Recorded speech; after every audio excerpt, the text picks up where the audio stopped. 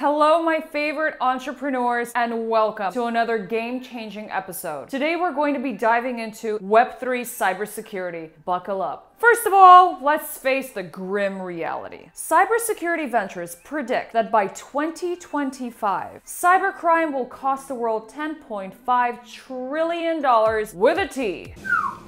Exactly. If that's not terrifying, I don't know what is. But wait, there's a new hope on the horizon, and that hope is cybersecurity Web3. Web3 isn't just about information sharing. It's about value exchange secured by blockchain technology. We're talking transparency, immutability, and decentralization, creating an ironclad defense against cyber threats. This is in real time.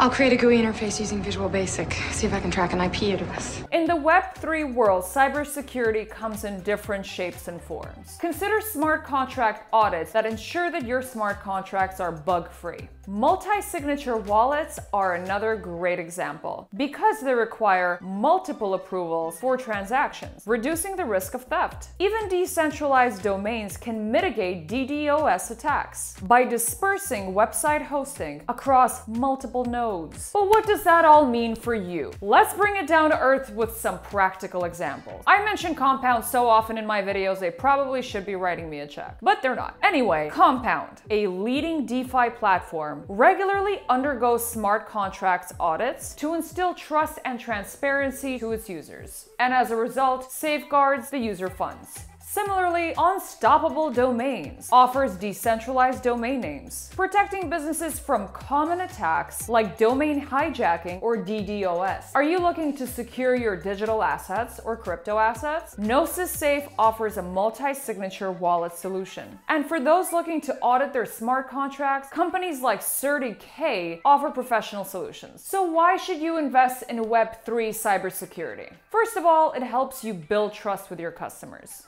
Second, it reduces the risks and costs associated with cyber attacks. And finally, in the growing digital economy, having a fortified cybersecurity system in place can actually be a unique selling point.